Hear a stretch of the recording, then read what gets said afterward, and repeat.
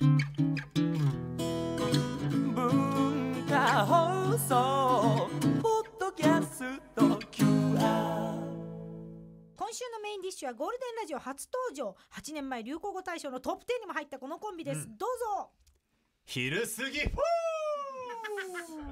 ォよーどうもレーザーラモンです。どうもよろしくお願いします。よろしくお願いしお願ますいします。HG さんと RG さんですよ、ね、二本当人で来てくれたんだよね。本当ビジュアル系の僕ら本当ラジオで本当申し訳ないです。本当にすいません。ビジュアル系の。はい。ビジュアル系？もういや格好ありきなんで僕らもね。はい。まあそうだけど懐かしいギャグだったね。いやもうあれから8年です本当に。8年か。あれから8えーはいあんなの何が面白かったんだろうね。そうです。たただのカタカナのねフォそう、ーね。ほうって言うだけだろ。そうなんですよ。だから僕も本当にびっくりしてますね。あなんで考ええてたあのギャグは？あれあれは本当に。に困って、うん。なんとかあの、まあ、知名度ない時に、はい。本当に困って困って、なんか盛り上げようと思ってうんうん「わーって言ったんですよ、だその時本当に滑ったんですよ、うん。誰一人笑わなかったんですけど、うん。なぜか本当に 本当僕でも今でも分かんないですね。はいまあビジュアル系って二人とも言ってるけど、はい。RG の方ははい。そうですね。そうです。なんかそうですね。ビジュアルも何もね。お前ビジュアルもへったくれもない。や若い時はなもっとビジュアル系な感じあったの今。あの昔はあのなんかドレッドヘアのなんかん。HG のあのパクった格好してたんですけどもでも顔はそんな顔だろ？今はもうはいあのちょっと恵比寿さんのような39歳年相応のはい本当にルックス体型、ねはいはい。はい今はもう全然もう RG さんはあるあるあるあるあネタですからねなんかかき氷作っててもおかしくないから。庶民的なそうなんですよは本当もう馴染むんですよ街にだけど HG の方はいはい何このモデルってそうなんですよこれなんだよ。最近ちょっとあの体の方が仕上がってきまして。身長いくつあんの？身長185センチで、うん。はい、いい体78してるキロ。もんね。何これ鍛えてなんで鍛えたのこの？見せかけの筋肉？いやいや、本当あのキックボクシング行って、うん。あのーへ昔はプロレスやってる頃はもう本当はい。にでかくするトレーニングで、はいはい。95キロぐらいあったんですけど、すげえ。ちょっと最近そのキックボクシングって絞って、うん。はい、78まで落としまして、はい、ちょっとモデル業の方、あのいや雑誌のおお笑いだよね。お笑いなんですあお笑いですけどまあがこなんかし絞りすぎたら面白いってならないですよね、ちょっとこの。芸人で。でシャレになんないよもうこれ。シャレになんないですかこれ。これで。もモデルだもんこれ。はい。いやいや。まマジモデルだもんこれ。いやあの森さん中とかがうん。もうすごいあのうん。HG さんは吉本で一番男前だから。確かに。あのいや本当ですか。本当もうい一番いろいろやった方がいいってモデルとかやった方がいいって言っていつもあの捕まっていろいろアドバイスされてるんですよ、はい。本当に担ぎ上げられた感じですね。僕は本当にいやモデルなんてみたいな感じだったんですけど、本当に相方はじめそうやって森三中とかハリセンボン持ち上げてくれて、うんじゃあちょっとやってみようかなと思ってこういうのと写真撮ったら、なんかあのファッション誌食いついてくれまして、今あのルードって雑誌の方にはい。本当にモデルとして順番が違ったらよかったもんね。あ先に？モデルを先にやってフォーをやったら無敵だったそねうか。無敵ですか？そう思うよ。ね順番が違うよね。モデル化でえれえねジュノンとかねあの辺とかねやってその後フォーの方がすごいよな。まあまあそう振り幅はすごいですね。はい確かにね。はい。もう自分のかっこよさにはこう中学とか高校とか持ってたとかって気づかなかった？いや自分がかっこいいなんて一度も思ったことないですよ。あそうなんだ、はい。うちの佐伯がねそうなのね。ああのかっこいいの嫌だっていうへえいや確かにそのかっこいいって言われてうん。面白い返しがないというか、うん。あありがとうぐらいしかないないじゃないですか、困るだけっていう、うん。はい。RG, さんは自覚ありました？かっこいいという自覚ですか、ありました。お前ねだろえ？お前なんでなんでそんなことが高望みはお前。おかしいだろおやっぱり前ね。昔はもうちょっと痩せてたんですけども。いや本当昔はワックスで髪の毛こうやってグリグリする感じうん。ので痩せてましたし、うん。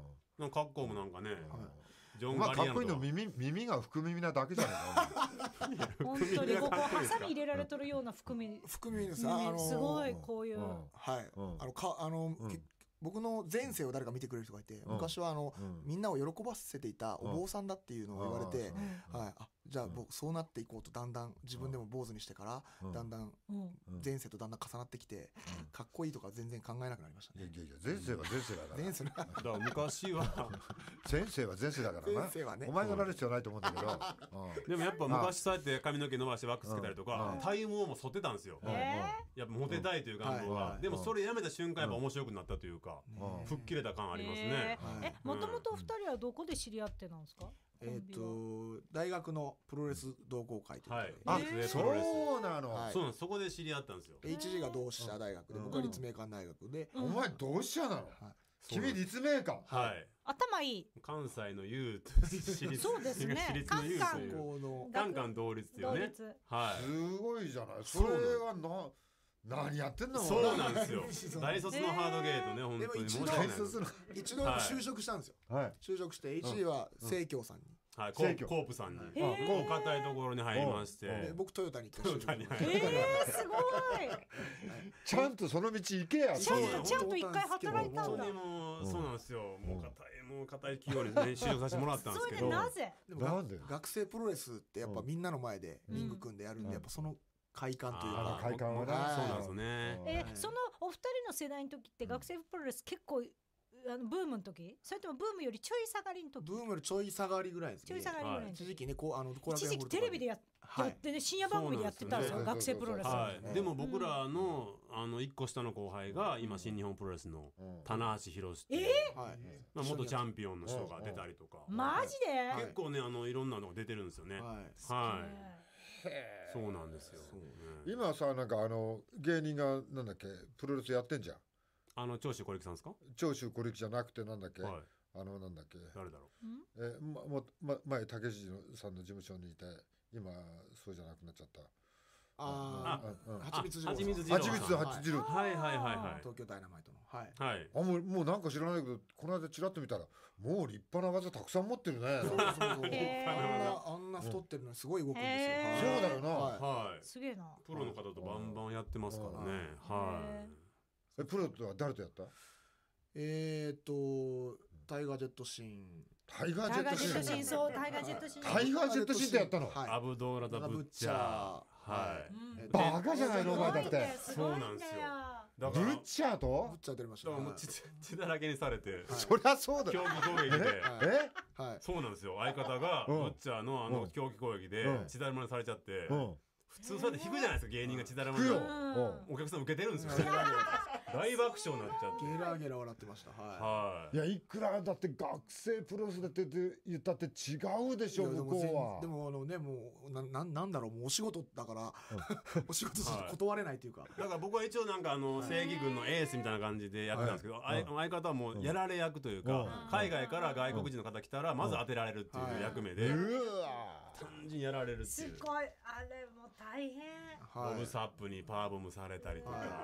何された？パワーボムってパワーボムって何？頭から押され技あるんですけど。お前死んじゃうよだってお前生きてるなと思いますだから本当一時期登校拒否というか、うん。もう行きたくない行きたくないって会場に来なかった時あったんですよ。電話して何してんねんってうん行きたくない行きたくない言って、はいいやだっていやえぐいもんプロが結構本気で。プロはだってそも。んりゃえぐいよだって。いやえぐい私試合見に行ってほびっくりしたもんこんなとこまでコテンパンにやるっていうぐらいだってやっぱし向こうは仕事は仕事だけどやっぱプロと素人の差は見せたいわけだろだって。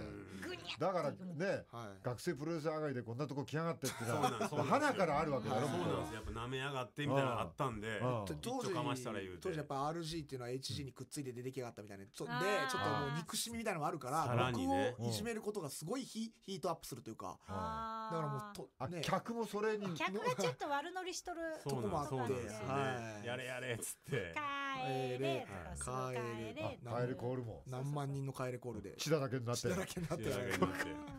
仕事とはいいですね。そうですね。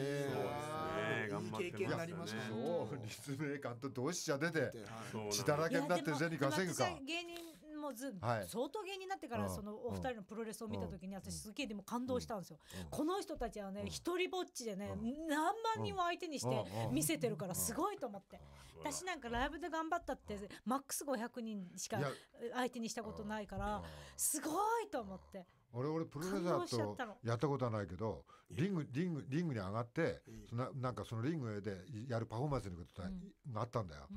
体ね2分持たなかったね。いや持たないよね。リングってねやっぱ柔らかいイメージありますけど何あれ？硬いんですやっぱ受け身取り損なうともうはい息詰まるし。うん。非常に喉乾かん。乾きます仕事でプロレスやったら異常に喉乾みんなやられてるんですよ。なんだろう2秒ぐらいで喉カッカンなんだけどあれライト逃げ場がないし何なんだろういや本当異だって常にね俺もだって客を高校生うん客を脅してうん舞台で上がるだけで精一杯だったもんへ上がるまでが大変だったんだまずいやでもすごいですよ何万人相手にして笑いは取るわ、うん。あの興奮させるわ、うん。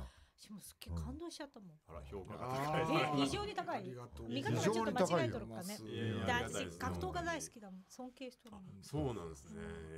でもちょっと前まで HG さはい。テレビの生放送でえ料理の先生の横で何かやってなかった？えやってました。やってたよな。ハードなクッキングっつってハねードなクッキングって。はい。あの格好でフォーとかになら横の先生真面目な先生で昼間どっかしょどっかの商店街で行ってそうですそう。ですはい。料理研究家の方うん。と朝のさやかな番組でうん。横でまあハードゲーアシスタントみたいな形で 出してもらったんですよ。はいあれ俺見ててなんか無理な企画だなと思って見て違たけど。和感しかないですよね本当に。はい。ものすごい違和感だよねあ違和れ感しかなかったですね本当に。冬なんかねだって。寒そういう寒そうだったし。寒かったですね。はい。夏場も暑い。すごい。あれ？君さなんかではい。恵比寿義和に漫画のデッサンかなんか勝った負けた？勝ったよね？あの恵比寿さんじゃないんですけどあの江川達也さんっていううんタルルート君とか書いてる方はい。のプロの漫画家さんとうん。デッサン対決してはい。勝った勝ちました。絵がむちゃくちゃうまいですよね。絵がどんむちゃくちゃうまい。な才能プロレスできて絵がうまくて。えプロプロレスできて絵ばがうまくて。モデルがモデルがやって。て。ただちょっとお笑いがえー下手なそうなんです。おだ笑いだけできないっていう本当ね。すごいよはね、なんで芸人なんだろう。もういや。それだけ多彩で。はいそうなんですよ。えもうだってうん。え映画なんだえええなんだっけ？江川達也さん。江川達也俺名前江口とか江口達也って感じが江川達也江だよね。川達也さん。あのもうめちゃくちゃうまい。めちゃくちゃうまいです。綺麗ですよ。はい。女の人格ショートに自宅があって。そうですそうです。ベンツたくさん持ってて。で俺一回訪ねて行ったら。え一番上があのジャグジーになってる。屋上屋上に風呂があって。すごいむちゃくちゃ稼いでる方電信柱に乗ってきた。電信工事の人と目があったんだ俺うわそんな高いんですか高いよ。私もオタク拝見行ったことあうんるそう書斎がこう階段になっとってうん2階3階下う。んを見見下ろせるような書斎になっとってうんだってあのあれみたい猪狩みたいなことできんのよあのエヴァンゲリオンの真ん中の頂お前点のもうあいつ抜けよ。いやで買ったんですよだから。う2回買ってるんですよか過去。うん。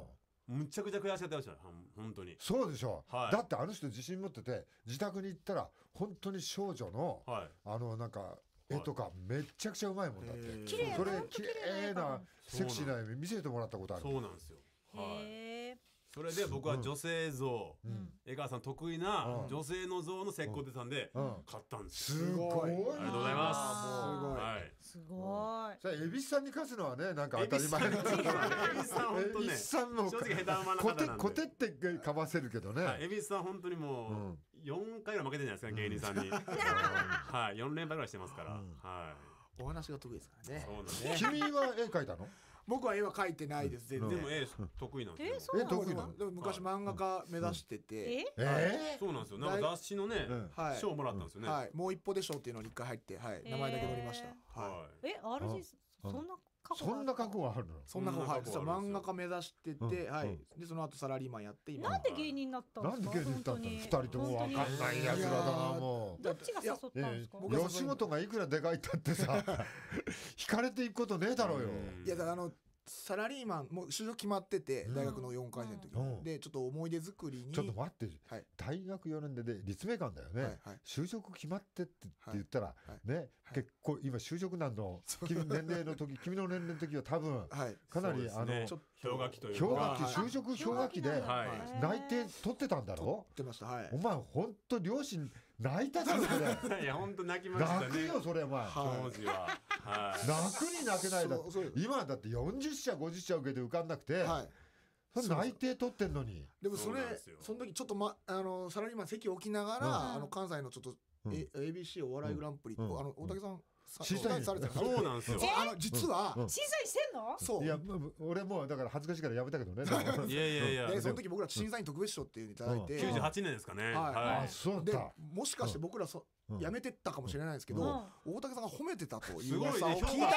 ちょっとなだからよく言そうれわなんでがやっぱ芸人になったのって自信になったんですよ。だからねだから大竹さんのせいなんですよそうなんですよ今。よく言えば。なんか直接言われたんじゃなくてちょっとごめんなさいねだって。直接言われたんじゃなくて社員さんみたいな人に大竹さんすげえ褒めてたよみたいな。あこれマジなったんはいですね。大竹さん褒めてたらもう続けようってでそれで辞めたんです二人とも。会社を？会社。会社をそうです。そうなんですよ。だから。いやすごいあ時りましたね。々間違う時あるんだよ。やめてくださいよ。俺やめねうちにさてくださゆりおか超特急っていうさ、はい。まあ指定関係あゆり急ってさ、はい。俺まあ弟子って弟子ってなんていうのあいつだ、あもう取らないから、あいつ買ってきた弟子なんだけど、あいつ大阪で俺がラジオやってた時に、うん投稿で面白かったんだよ。ああいつだけどこいつ面白いなっつって,、って言ってたんだよ、そしてそれでその番組終わったらしばらく経ったら「そうねゆりおかですあの番組で書いて大竹さんに褒められた大竹です。あおゆりおかです。弟子にしてください」って言って うわうわうわうわ。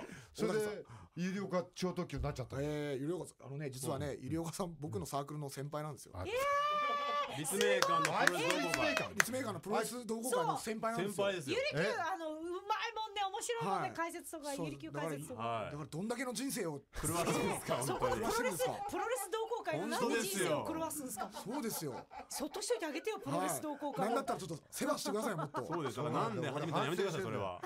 昨日も反省昨日も荻上チキンが来て、番組の中にはいないんだよ。もうすごいやつなんだけど、はい。そいつに「ああじゃないこうじゃない」ってそこで10分説教したんだよそうなんですか。言うんじゃなかったと思って説教っていうかいろんなこと言っちゃって。でそれは向こうはもうあ大竹さんに言われたいやいやいやなりますからないけどは。い。やただのあの行きがかり上の審査員じゃない。いやいやいやいやいや。やっぱ僕らにとってはもう大竹さんの言葉ですから。お前そんなこと言うけどね中村うさぎだってね、はい。町田やすやすだって町田こうだってみんな審査員やってんだからね。やってました。あいつら責任あるよだって。あいつあだって俺一緒に審査員やった時、安田大サーカスめっちゃくちゃ面白いって あの町田さんが、まあもう過去の話だから言うけど、はいはいはい。譲らなかったんだから、いや絶対だって。あーそうなんですね。俺と揉めたんだから。そうなんですね。そうそうそうそう。審査員も大いや変だからやっぱそう。いう皆さんのやっぱ言葉は僕らやっぱ影響を受けてあれ私ももう忘れとったけど大竹さんに褒められたような気がし嘘てうわうわ大竹さん。そうですの発言には注意してください勘弁してくださいよ。いやいやそりゃそうですよ。お前なんだこのうまい絵は。あ資料がねえはい。え今資料来て絵に行けばいいじゃないか。もいやこれ本当あの美大あの美大とかねね。専門学校の先生があのまあ言ったら審査員に来てるんですけどういや全然入れるよっていう美あ大に。れ？美大とか行ってなく？行ってないです行ってないです。行ってないのに。あはい。デッサンとかしたことデッサンしてないの？にしたことないですだから。すごい。なんだそれ。ちょっと天才なんじゃない？もしかして。天だから全然あの通るレベルだって言われてマジっすかってもうお笑い以外の職業全部やれば？全部やれよ。お前いやお笑いやらせてくださいよ。お前会社作ってなんかやれよ。面白くない？もう何やってもうまくいくんだけど。お最高のだけはうまくいかないだって最高のギャグはああいうなうなはい2005年の4だろお前。だってそうなんそれ以来泣かず飛ばしてるでしょ長飛ばずモデルでこんなかっこよくて信じられないよだっブレてるもいいとこですけど本当に。でも芸人やりたいってもちろんありますから今日大竹さんにやっぱ会えたのもねやっぱりそう。僕は芸人頑張れということなのかなと。言わねえよそんなことお父さんって。お父さん。お父さんじゃない。お父さんじゃない。チルドレンが来たよ大竹チル大竹ドレンチルドレンです。我我々々さんとね我々ですから。言ったことないよはお前。お願いします。勘弁してくれよ。大竹チルドレンのプロレスやろうよみんなで。部外者がチャラチャラって言ったことを。いやいや本当ありがとうございます本当に。おかげで。でも人生でまあでもこれからな。はい。そうです。まあどうなるかわかんないもんね。そうそうです。はい。ねコンビではやるの？僕ら漫才を最近やってまして。はい。へはいでもうね漫才。俺のじ持論は本当にね持論はね、はい。やっぱりね根拠のない自信だからね。そうなんですよね。お笑いってお本当笑いそうってもう根拠のない自信だからな、うん。いやわかりまあ、人に何言われそれはね、俺もはい。過去のね、はい。俺だってね過去に俺こんなになったんだって、はい。過去に野坂昭之さんに褒められたことがあって。やっぱりあるんですね。ああって自信はないけど、はい。それだけを頼りに。いやそうなんです。そうなんなそういうもんなんですよ。それははい。そう。本当そうです。だまだわかんない。まだ全然わからないこの先は。はいはい。うんどうなるか。はい。ね。根拠のない自信だね。そうだろ三浦。そう思います。根拠のない自信は一番大事だよな。私自信がないからダメだって昨日気づきましたもん。昨日本当に 昨日気づいたん最近ですね。俺はあれだもん。何にもできないけどすんごい自信家だもんもうもうい人にあんまり言わないものすごい自信だけあるんだ。何でもできちゃうよ。何もできないよ。歌も歌えない。RG さんは？はい。自信自信はすごいなんかそうだろありますすごいですよ、うんそこがやっぱ面白いだからな僕ら一緒に、空気が。あのコンビで舞台でネタやるじゃないですか、うん。で僕的にはあちょっと今日滑ったかなって言って舞台上げてきたら、うん。めっちゃ受けたなって言うんですよ。そうなんですよ。ね本当にもう自信それはそううちの鬼太郎がね56人しか笑ってないのよ。袖帰ってて大受けって言ったことあるんだかあ一緒です一緒です。お前おかしいって言ったんだよは俺え56人しか笑ってねえじゃないかって。いや甘々なんですかね自分にねなんか。い。本当にだから何人かニコッとしただけでもそれがもう受けたと思うんですよね。えー、ね RJ さんの悩みとかないですか？この将来とかさなんか悩みですか？悩みか。悩みは悩みは本当なんだろうなちょっないんじゃとないないですね。家ないんだ。家が遠いとかそれぐら本いだと当に反省するとか後悔するとか見たことないですもん。すごい。家が遠いぐらいかな。すごい。普通やっぱ滑ったへこむんってへこあるじゃないですか。む。毎日へこむ。見たことないですへこんでるの。はい。それ生まれた時からそういう人なんですか？まああのなんか一回悩んだ時にすごいいっぱいニキビができたんですよ。でもう俺になんなんそれもう俺ニキビできるの嫌だと思って悩むのをやめたっていうか。それただの思春期だよバカ重なっただけだよお前いくつですか？それいくつの時えそれ結構えまあ高校えーと高校卒業したぐらい時にできるんだよバカ思春期の名残やん。あれがもうやめくだらね自信は大事ですよね。あのお二人から告知があ告知ね。はい。はいはい。はい。お二人とも告知がある。はい。はい、えーと8月1日にですね、レーザーラモン RG の洋楽あるあるという本が出ます。し、RG さんの出た方 RG さんの方ね。RG はい。あるある大好き。えー。洋楽あるある。はい、で洋楽あるあるこれイラストがうん。あの上手な HG さんがはい出てます。はい。私が書かせてもらってますんで。はい。はい。あれでも RJ さんのあるある？はい、あるあるどういう意味？洋楽あるある。洋楽ある洋楽あるあるは例えばあのまあビートルズのあるあるとか、はい、ビートルズのあるある、ジョージ・ハリスン忘れられがちとか、ねなるほど。はい。そういうのをあの100個200個ぐらいずらーっといっぱい書いてて。いつも歌を歌うから込みで面白いじゃないですか。あなかなか言わないそう。なんですよね。う本だとやっぱあの歌がないので、イラストでイラストを頑張っていただきました。すぐすぐ見れるんですから。めくったらあるある見れるんいですね。つも。あの我慢が楽しいのに、ははい、歌の部分もうん。歌の部分は11月にまた DVD が出ます。じゃあ RG さんこの竹書房から出てるあのーはい。洋楽あるあるは売れるのね？これはまああのこれ HG の A 効果で売れると思います。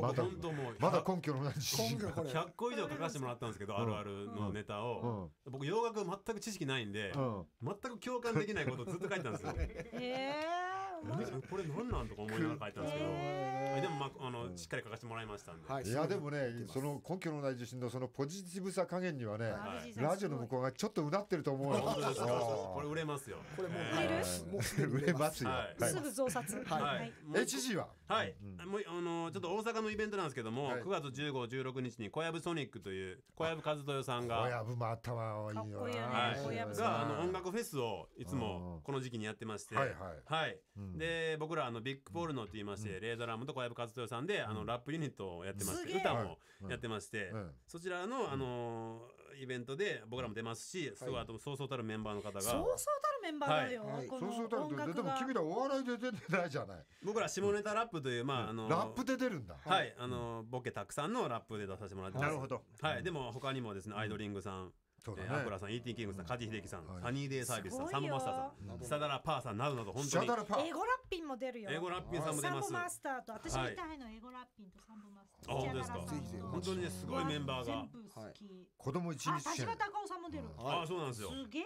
子供で一日券2000円はい。はい。なんかなんか安いあとね時間だって。ああら芸人さんもい。っぱい出ます。帰帰らにゃいかんくなっちゃった。もうお時間です、本日のゲストはレーザーラモンのお二人でした。ありがとうございました。ありがとうございました